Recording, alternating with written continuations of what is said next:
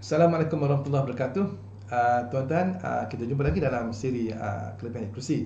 Okey, uh, selama ni kan banyak kan ke sejak ke belakang ni kita di kita dengar kita banyak kita menonton dalam YouTube, dalam Facebook dan juga dalam TV mendengar dengan berita-berita tentang malapetaka seperti tsunami, uh, tsunami ataupun taufan ataupun gempa bumi.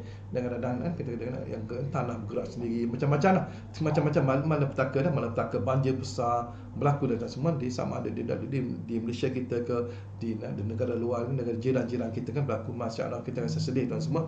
Okey ulama dah bagi tuan semua bagaimana ketika ketika berlakunya malapetaka ni tuan semua ketika berlaku ni malapetaka ni apa kita nak buat ah gini kita jangan panik dan kita gantung hati kan. Kita dambakan lah. Gantungkan hati kita pada Allah Ta'ala. Di ulama dia beritahu dah. Gantungkan hati kita. Jangan kita buat benda yang pelik-pelik. Dan pelik-pelik.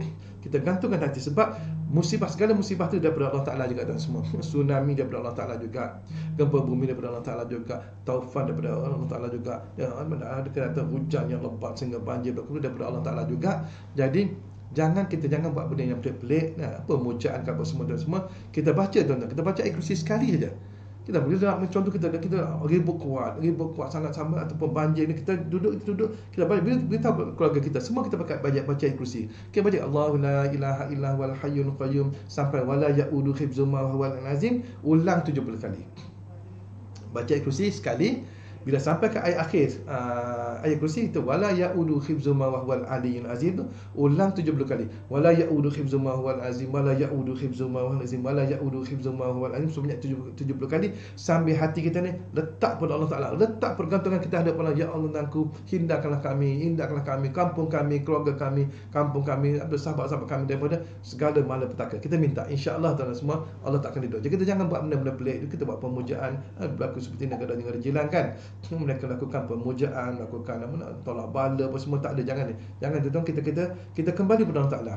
Setiap apa yang yang baik yang buruk semuanya kepada Allah Taala Allah Ta'ala yang jadikan pada hakikatnya Allah Ta'ala. Walaupun kita nampak kemusnahan, keburukan itu berlaku daripada kita sendiri Daripada orang daripada manusia sendiri. Sebenarnya pada segi hakikatnya daripada Allah Ta'ala. Daripada Allah Ta'ala semua Baik, buruk itu semua daripada Allah Ta'ala. Jadi bila Allah Ta'ala jadikan tsunami Jadikan gempa bumi Jadikan banjir besar Jadikan apa, ribut taufan Itu sebenarnya Allah Ta'ala nak suruh kita ingat pada dia. Jadi bila tuan-tuan berlaku macam ni Jangan lupa baca inklusi sekali dan ulang ayat akhir ayat kursi itu wala yaudu hifzuma wal azim sebanyak 70 kali. Insyaallah ustaz semoga uh, kaedah ni akan memberi manfaat pada anda semua.